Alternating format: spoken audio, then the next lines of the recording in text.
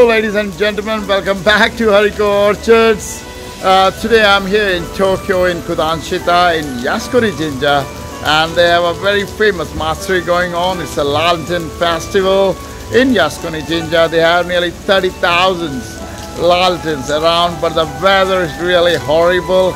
It's been raining really hard since morning but I was still here. You can tell from my hairs I'm all bloody messed up but I did make some videos and I do hope you will enjoy the video. So please do watch this video and enjoy it. Thank you. So basically Kudanshita is a neighborhood and a train station in Chiyoda ward of central Tokyo. The station is served by the Toei Shinjuku, the Tokyo Metro Hanzomon and the Tokyo Metro Tozai line.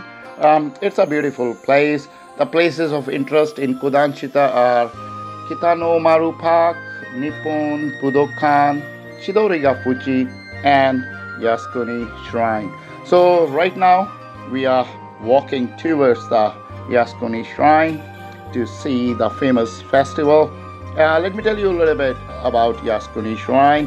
Uh, it is situated just three minutes walk from Kudanshita station on the opposite side of Kitanomaru Park, and Yasukuni Shrine is dedicated to the spirits of the soldiers and others who died fighting for the Emperor of Japan.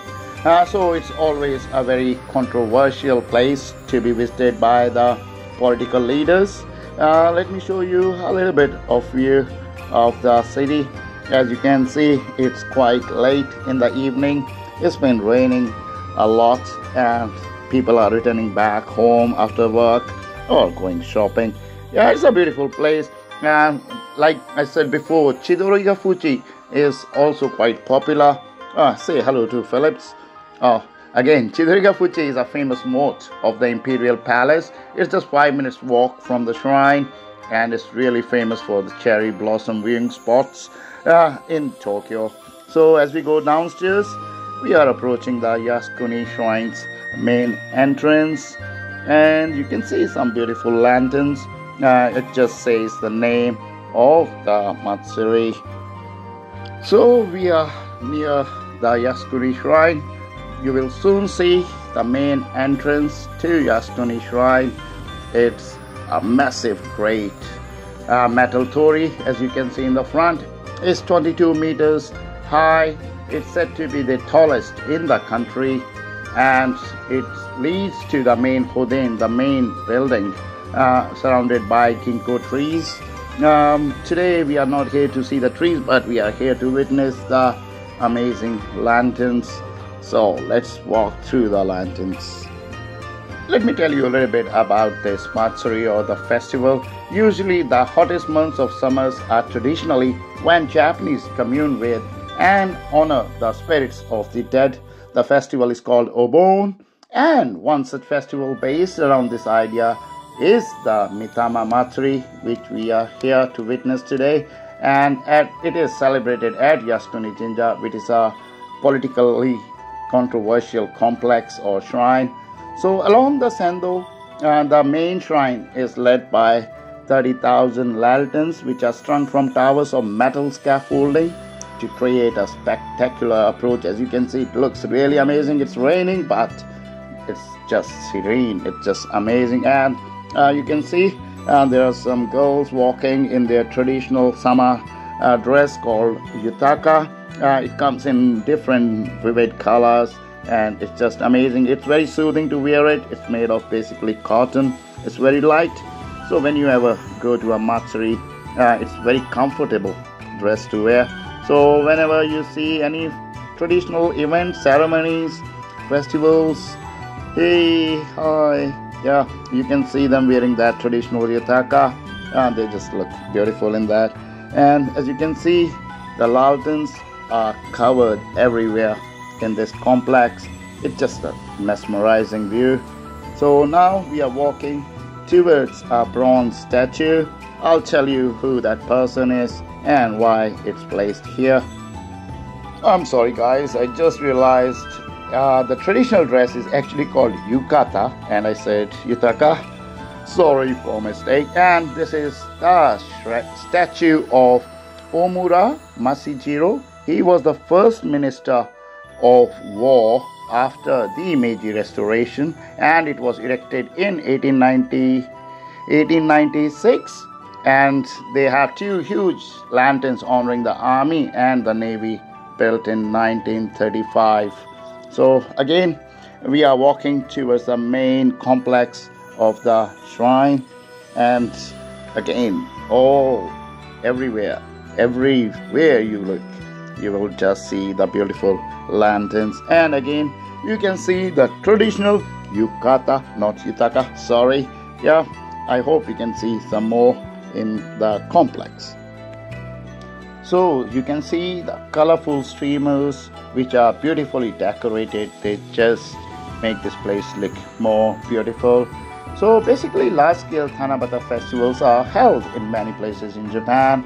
And you can see these colorful streamers mainly along shopping malls, streets and some shrines.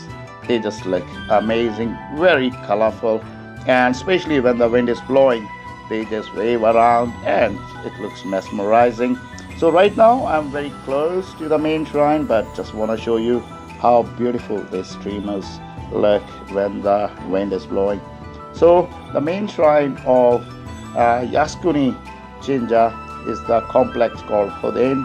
If you have seen my other temple videos, I've explained in it. And this is the another second story of Yasukuni Jinja. Uh, you can see a lot of foreigners here today and they are here to witness this festival even though the weather is horrible. It's been raining from last three four days and today is the second last day and people are trying to make the most of this bad weather. Uh, people basically are walking with umbrellas. I'm totally soaked i can't use an umbrella because i'm recording. Can't use my two hands at the same time. It's very difficult to control and balance the gimbal so now let's walk towards the main complex so let's go back to the history of Yasukuni Shrine. Actually, it is dedicated to the spirits of the soldiers and other who died fighting for the Emperor of Japan. It was originally uh, built in 1869 by order of the Meiji Emperor to commemorate the victims of the Boshin War. In 1879, it was declared as one of the principal shrines associated with the Shinto faith and the primary national shrine to commemorate Japan's war dead. That's why it's so controversial. It has been in controversy since 1979 when several Class A war criminals were enshrined here. Uh, visits to the shrine by cabinet members are always a cause of protest, both at home and abroad. So, this is the main complex uh, people are lined up uh, to pray in front of it. Uh, same like other Japanese shrines. Uh, usually they will bow, clap their hand twice, and make their wishes or pay their devotion to the god. And you can see uh, still here you have the small uh, lanterns. So I will show you the other smaller lanterns. Uh, they are a bit small in size compared to the ones we saw in the main street. So a lot of Japanese people come to this shrine. As I told you, it was founded in 1869 with the purpose of enshrining those who have died in war for their country, Japan, and sacrificed their lives to help build the foundation for a peaceful Japan. So basically, the spirits of about 2.5 million people who died in Japan, uh, not in Japan, who died for Japan in the conflicts accompanying the Meiji Restoration. Uh, in Satsuma Rebellion, uh, the first Sino-Japanese War, the Russo-Japanese War, the First World War, the Manchurian Incident, the Second Sino-Japanese War, and the Pacific War are enshrined at Yasukuni Shrine in form of written records uh, with note name, origin, and date and place of death of everyone enshrined here. So let me walk through this campus and show you how the other parts of the complex looks like. People are taking shelter because it's raining heavily. and I'll show you the other area.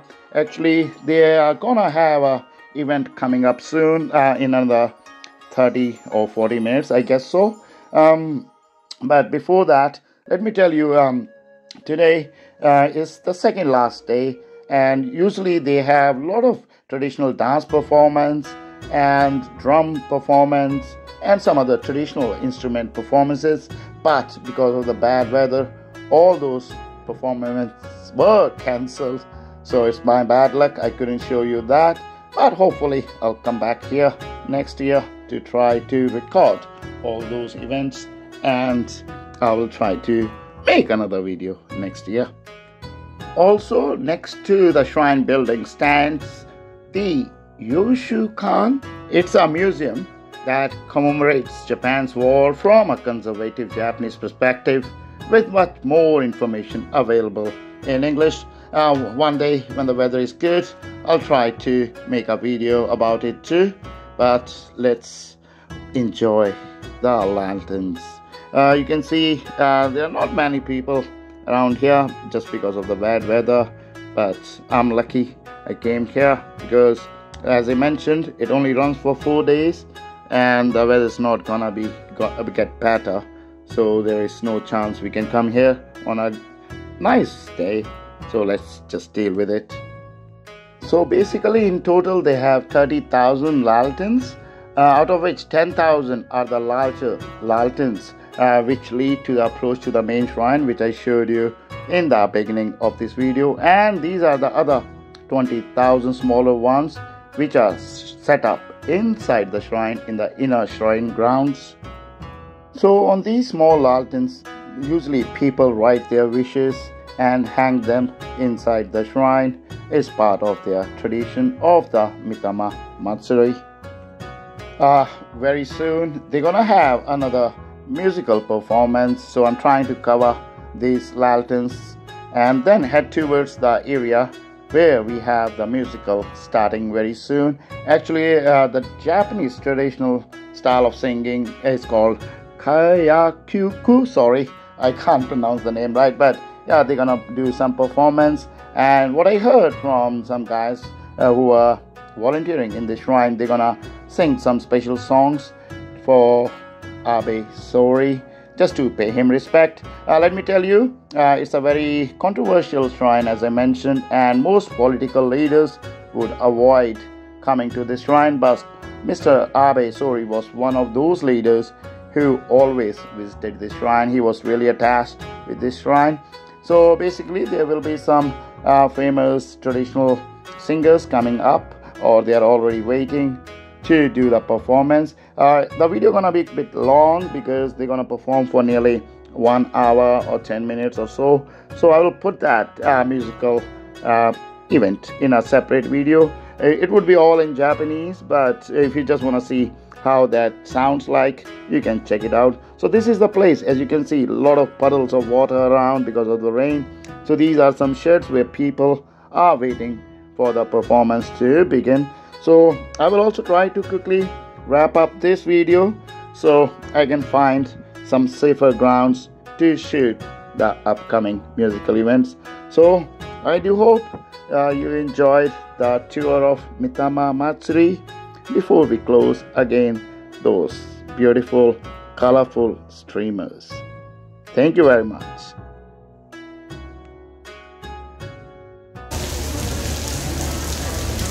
Ladies and gentlemen, I'm totally soaked, my shoes are full of water, I'm drenching literally. But I'm glad I came here, this was the last day of the Matsuri, the festival. But I did take some great pictures and some nice videos. So I hope you will enjoy this video. I'll be back with some other content. Until then, take care of yourself. I'll see you soon. Sayonara. Bye bye.